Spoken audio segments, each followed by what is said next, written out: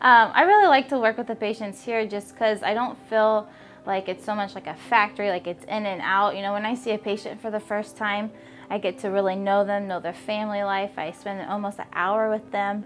Um, and then if they would have a procedure, I usually follow them up at one week, um, three months in a year. So I really get to like see them for a whole year um, and kind of follow them along with the journey that they're living. Or I really like the hydrofacial.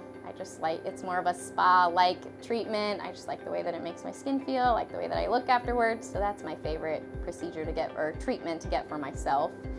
Treat procedure to do would probably be tattoo removal. It's cool to see the progress as they go along, see the change each time that they come back. It's just neat to see.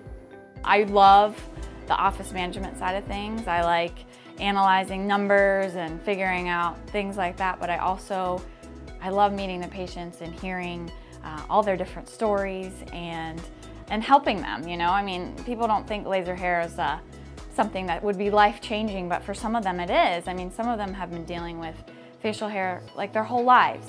Uh, and so for me to be able to help them, um, it just makes me feel good. It makes them feel good.